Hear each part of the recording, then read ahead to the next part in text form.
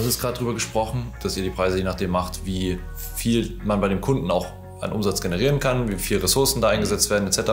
Also je, je größer der Kunde, desto größer auch das Budget, weil es mit einem kleinen Kunden sich nicht rechnen würde. Wenn du da mit 10.000 Euro festkommst und bei einem großen Kunden die Verantwortung und die Ressourcen mhm. viel zu groß sind, dass das dann sich mit so 1.000 Euro auch nicht mhm. rechnet. Mhm. Gibt aber auch andere Unternehmer, die sagen, ich mache Festpreise, egal was ist, weil ich dieselbe Dienstleistung, dieselbe Qualität immer liefere. Das wäre nicht fair gegenüber jetzt dem einen, der mehr bezahlen kann, äh, mehr zu chargen, aber weil ich es kann und bei dem kleinen Bäcker von der Ecke im übertragenen Sinne weniger zu machen, auch wenn er dann quasi dasselbe rausbekommt. Mhm. Wie stehst du dazu? Also wir verkaufen Individuallösungen.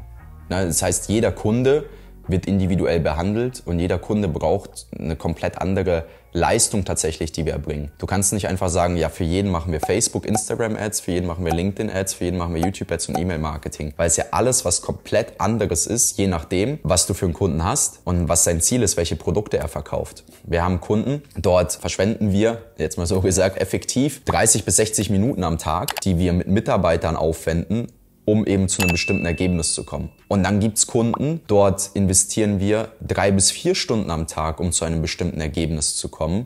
Und dort arbeiten wir dann mit drei, vier Leuten an der ganzen Sache dran. Es braucht viel mehr sage ich mal, auch Verbesserungsschleifen, viel mehr Neues, viel mehr Kreativität, Erfahrung, viel mehr Blick drauf. Es ist was anderes, bei einem Kunden 60.000 Euro Budget im Monat zu verwalten und einen Kunden zu haben, bei dem du 5.000 Euro Budget verwaltest. Das heißt, es ist eine Individuallösung, die du verkaufst, ähm, die du nicht pauschal jedem gleich berechnen kannst.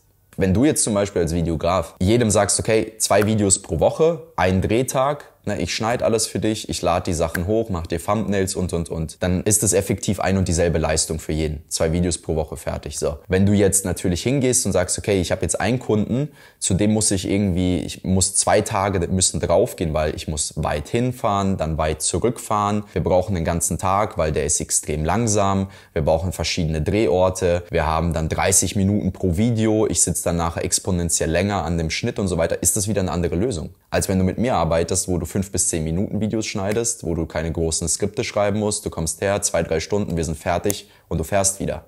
Weißt du, also dann wäre es wieder gerechtfertigt einem anderen Kunden, der dich effektiv mehr Zeit kostet, aber auch mehr Gehirnschmalz kostet, mehr, zu verlang äh, mehr davon zu verlangen. Und auch wenn Leute kommen und sagen, ja, aber du brauchst doch gar nicht mehr so lange dafür, für die ganzen Sachen und sonst was. Du musst mich dafür bezahlen, für den ganzen Schmerz, ja, für die ganze Erfahrung, für die ganzen Learnings, für all den Abfuck, für all das Geld, für all das auf die Fresse bekommen und sonst was, was ich durchmachen musste, bis ich an dem Punkt bin, wo es jetzt so aussieht, als ob ich das ganz leicht für dich hinbekomme. Dafür hast du mich zu bezahlen.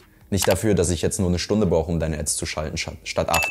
Und was bist du für ein Sadist, dass du mir nur das Geld bezahlen willst, wenn ich dir nachweise, dass ich acht Stunden lang am Tag in einem Werbemanager saß wenn ich das gleiche Ergebnis oder ein besseres auch in einer Stunde hinbekomme.